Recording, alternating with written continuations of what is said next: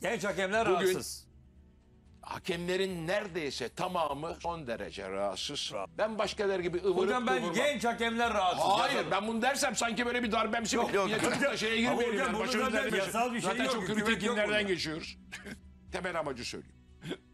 Merkez Hakem Komitesi şu anda figürandır, kukladır. Bir.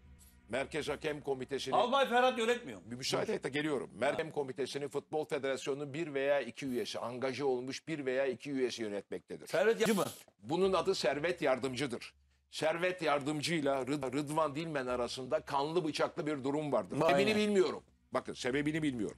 Sebebini bilsem söylerim. Çok büyük bir kavga var. Maalesef, maalesef hayatımda 2-3 defa görüşüp konuştuğum Ahmet Şahin diye eski bir hakem var.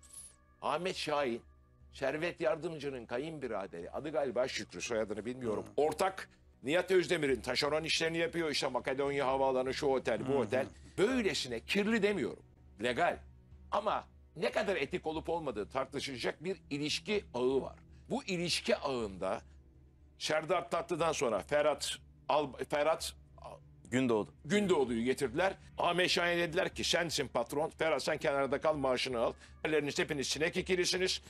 Bütün emirler federasyondan Ahmet Şahin'e geliyor ve Ahmet Ya Şahin Ferhat Bey bunu nasıl kabul ediyor ya bu böyle bir... Olacak iş değil ya. Bir dakika. İşleri bitiriyor. Kukla başkan diyorsun Tekrar yani. söylüyorum. Kukla başkan. Kurnazlığı söyleyeyim mi? Şimdi ben başkalarına yedirirsiniz bana yediremezsiniz. Mete Kalkavan bugün var hakemi doğru mu? Evet. Mete Kalkavan, Kalkavan çağırdı çocuğu ve çocuk adım gibi biliyorum. Bak Aynen. kalbimden konuşuyorum. İstemeye istemeye attı. Çünkü Mete Kalkavan'la Zorbay Küçük arasındaki ilişki generalle binbaşı arasındaki ilişki kadar serttir.